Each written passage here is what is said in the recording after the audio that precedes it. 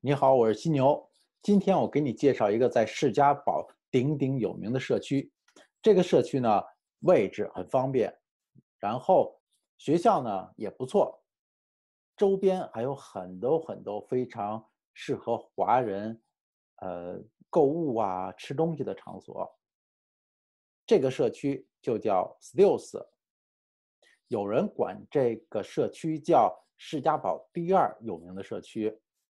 我不知道这个称呼是怎么来的，但是对我来说，这个社区可以叫士嘉堡第一有名社区。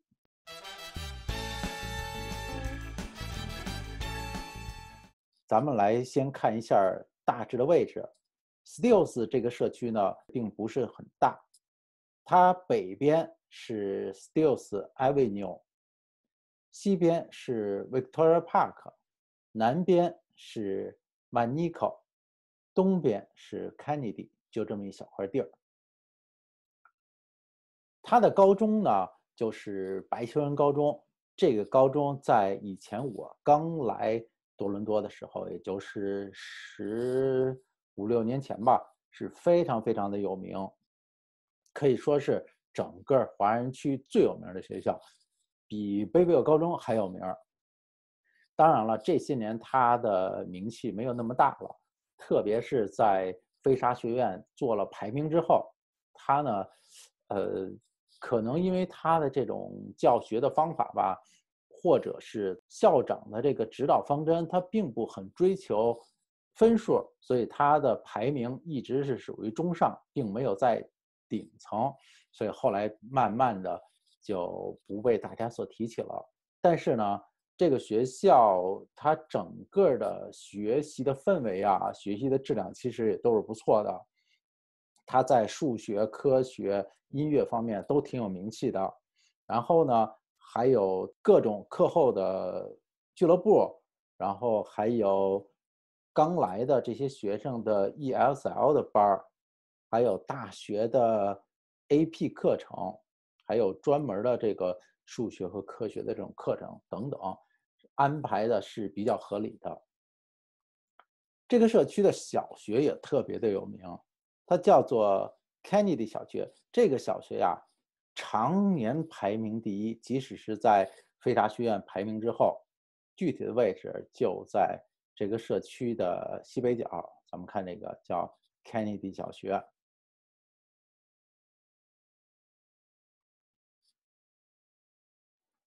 咱们再来看看这个 Steel 社区的位置啊。通过这个图，咱们能看到，Steel 社区基本上是在士嘉堡的最北侧，或者叫东北侧。咱们华人刚刚到士嘉堡的时候呢，基本上就集中在401、404和 Steel 这个区域内。再后来才发展到万锦和列治文山，所以在中间的这个过渡区啊，这 Stills 是极为有名。当然了，它现在虽然没有那么有名，但是因为它过去的这个历史很悠久嘛，所以它周边的华人的吃东西的、玩的。还有这种超市啊，都是差不多整个大多地区最丰富的。我刚刚移民的时候也是住在石家堡地区，然后后来呢搬到北约克，现在我是搬到了旺市。但是即使我到了旺市，我还仍然会时不时的到这个社区来，呃，吃东西啊，买东西啊，因为这个地方不仅味道很地道。而且东西是非常非常丰富的。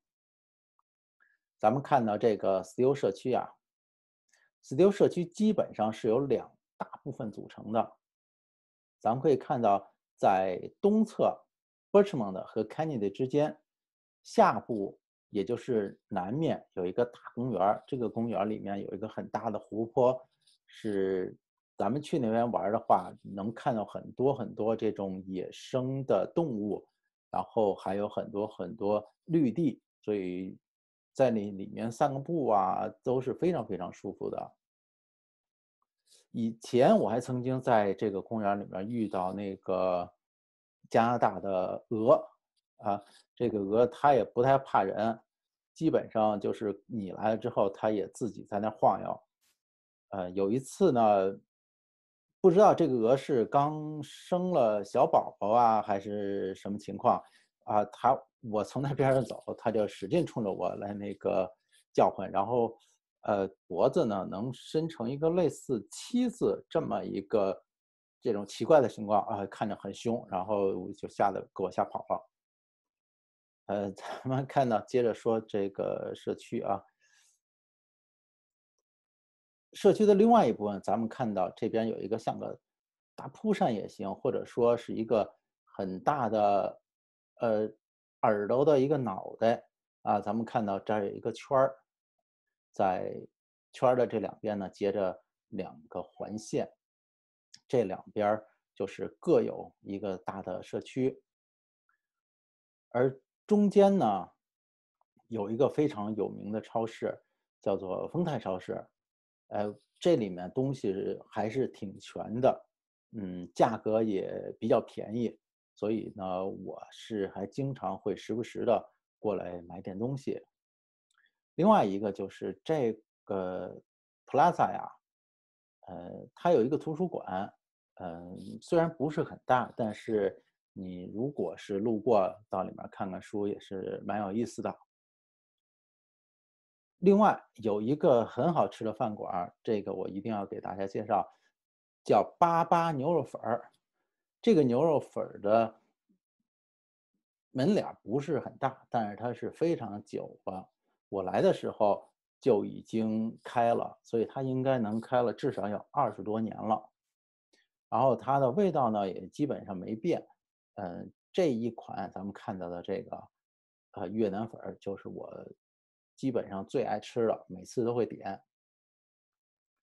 它也会有一些辣的东西啊，不过跟川味的辣不是很一样。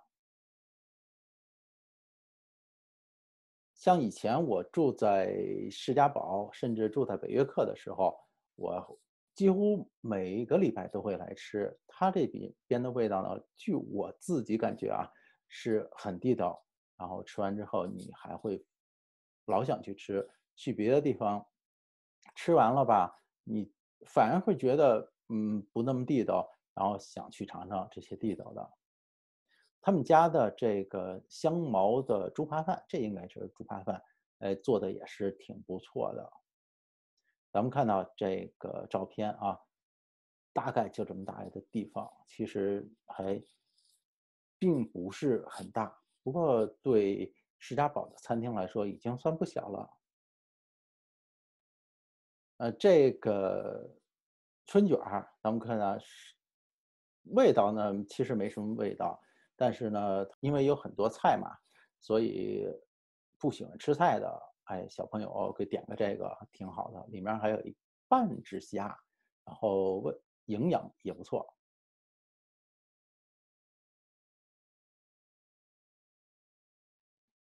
另外，这个应该是芒果的奶昔吧？还还有这个也挺不错的，里面是啊有一些红豆啊，然后顶上是椰蓉，然后做的这么一类似鸡尾酒，下面应该就是像果冻一样的东西。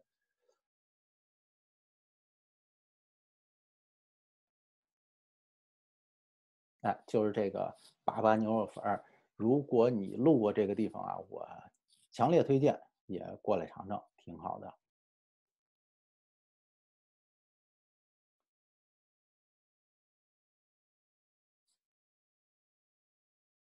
咱们看这个丰泰超市，丰泰超市还是挺热闹的，尤其是过年过节，它会有很多促销啊，也摆很多，嗯。亚洲的商品，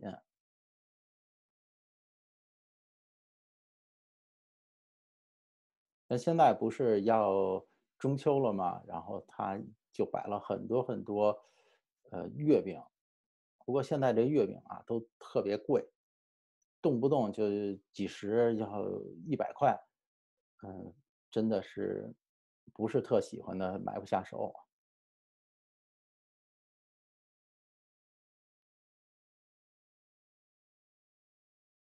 咱们接着来看社区。这个社区啊，公园还是比较多的。比如说咱们看到的这个一个、两个、三个、四个、五个、六个，几乎你走到哪儿都有绿地。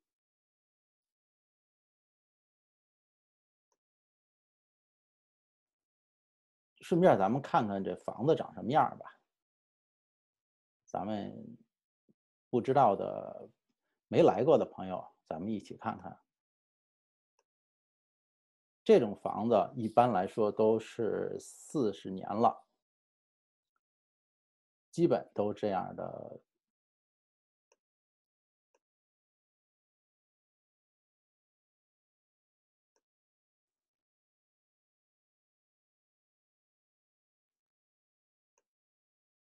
车库基本都是双车库，但是房子呢并不是特别大，一般来说也就两千尺。所以比较适合那种，嗯，不是特别有钱的家庭，找一个地方能住，哎，这个地方其实是蛮合适的，性价比是比较高的。咱们再来看看另外这边啊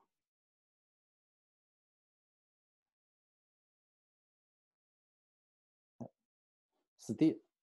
挨着 Kennedy 小学这边的房子，咱们可以明显看出来，它会好一些，它的房龄应该会新一些。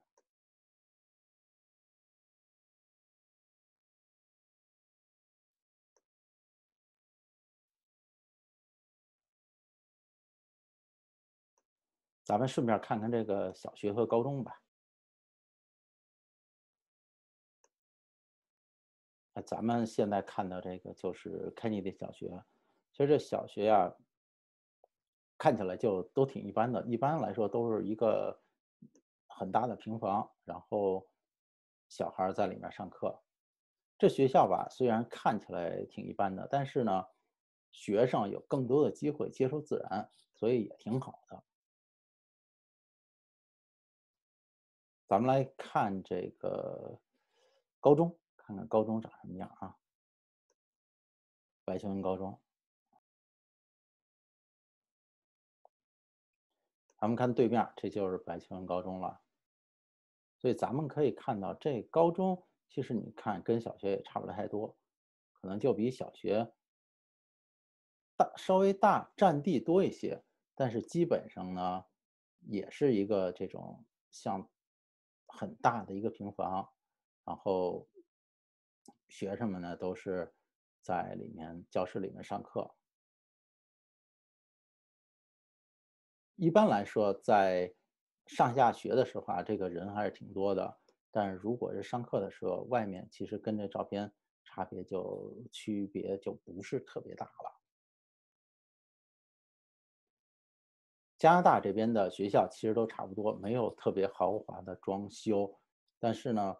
嗯，教学质量嘛，其实跟呃建筑的好坏跟那个环境其实没有特别大的关系。我觉得可能还是大家的教学理念更能决定一个学校的素质或者说水平吧。咱们接着来说这个社区，这个社区北边就是万锦市，万锦呢。整个这个商业氛围，其实现在已经比世家堡要好了。咱们一个一个也给你说说。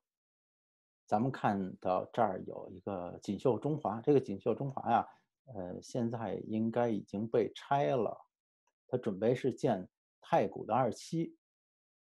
但是太古呢，只要你来过多伦多的地人，其实应该都知道，太古在多伦多是非常非常的有名。嗯它其实就有点像一个小商品市场。像以前呃如果是北京的呢可能你知道有什么官员儿啊那时候啊跟那差不多。当然了现在这个北京根本就比这就强太多了。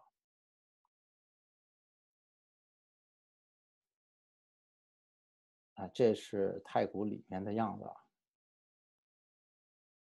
基本上就是你看，跟以前的中国那边的小市场差不多。现在中国可能已经没有这样的地方了，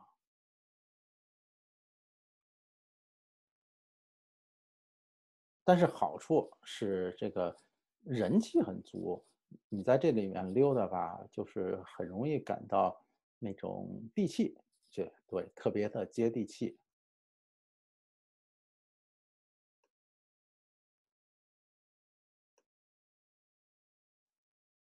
泰晤广场南侧有一个 Go 的 Station，也就是一个通勤火车的车站。这个车站呀，从这儿坐车去多伦多的当趟，大概应该用不了三十分钟。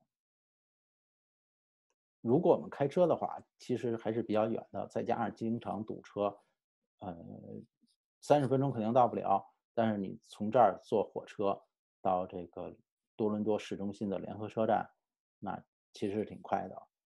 所以你即使是你在多伦多市区上班，那你住在这儿也挺好的。当然了，呃，咱们华人其实一年。不一定去得了当趟几次，有一两次就不错了。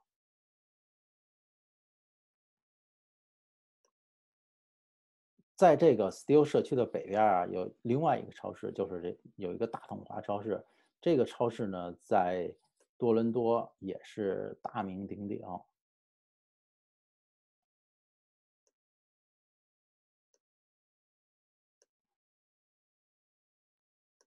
哎，就是就是这个超市，里面基本上跟它跟那个丰泰吧差不太多，但是东西比丰泰的要质量要好一些，呃，价格也贵一些。咱们可以进里面看一下啊。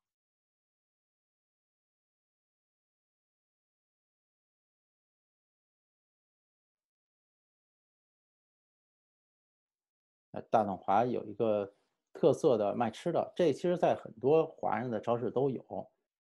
嗯，你可以随便选自己想吃的东西。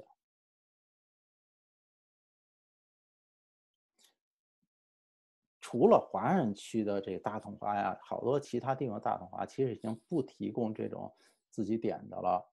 呃，当然现在疫情期间这些都不怎么做了。大统华还有一个蛋糕部，它的蛋糕其实是很好吃的，像这些芒果的、绿茶的，嗯，我都吃过。像这应该也是巧克力还是提拉米苏，都很好吃。它并不像你想象的那种纯餐馆的那种蛋糕是糊弄事儿的，他们家的蛋糕房质量还真是挺不错的。海鲜部。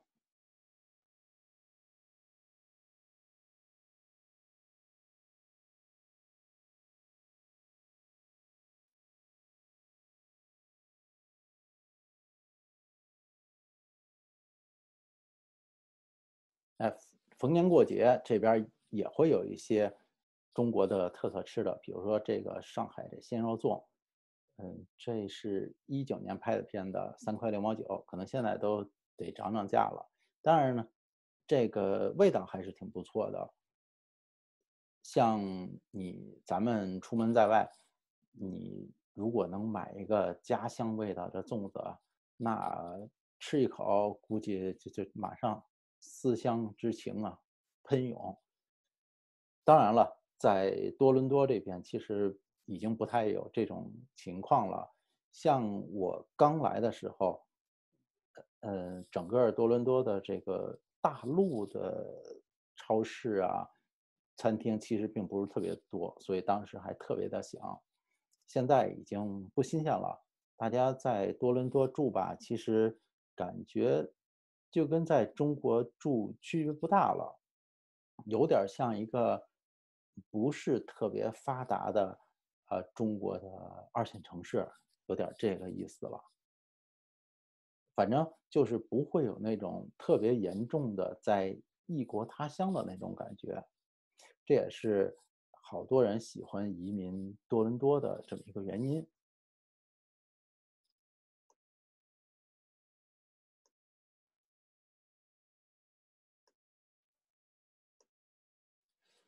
这儿有一个在大统华的西侧呀，有一个地方我必须得提一下，叫 J Town。为什么叫 J Town 呢？它就叫 Japanese Shopping Center，里面全是非常地道的日式的餐厅，然后这些小店主啊也都是日本人。他买的卖的这些吃的呀，基本都是日本进的。咱们看这个蛋糕店，我也是经常去。他们家这个蛋糕要比华人店的蛋糕要贵多了。比如说像这么一个小蛋糕，比华人店的至少要贵十块钱。不过它的味道好像比华人店的的确要更好吃一些。这个店呢，我也是经常会来。还有这个苏西，咱们在多伦多呀，有很多很多卖鱼生的店，华人的也有，西人的也有。但是像他们这个，真的是日本人卖的，他们这个卖的这个鱼生啊，比别的地方要贵多了。但是它的味道啊，也真的是好。呃，有的时候。我就会狠狠心，然后买那么一点儿。呃，一般来说，说实话不太舍得吃，但是真的是挺好吃的。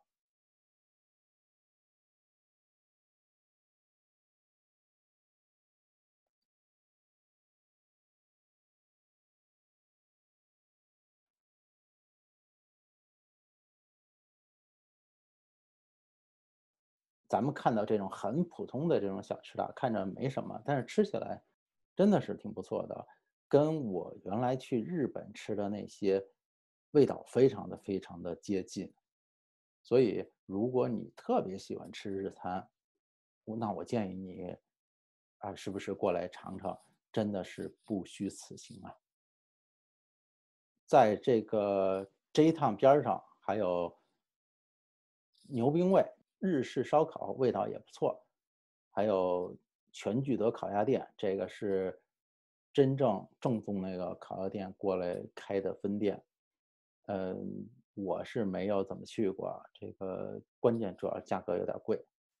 我经常去的呢就是大鸭梨，啊，这也是从，呃，对，大鸭梨就在刚才咱们说那个大统华的北边。它的味道可能没有这个全聚德那么好，但是尚可，至少是如果只是追求一个比较地道的一个这个烤鸭的味道啊，我觉得大鸭梨还是合格的，因为它的价格真的是挺便宜的。唠唠叨叨说了这么多，嗯，可能大家早就烦了。呃，我就先到这儿了。如果你有什么想知道的，或者说我没有说全的，或者说你觉得有些地方说的挺有意思，你想知道细节，那欢迎你在下面留言，然后我或者做更多的视频，或者我给你回复，好吗？那这期就到这儿了，咱们下期见。